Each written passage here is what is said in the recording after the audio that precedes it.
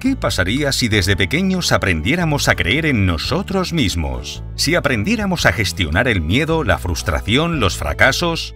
Con este libro, sus hijos desarrollarán las aptitudes que les permitirán conseguir cualquier objetivo en sus vidas.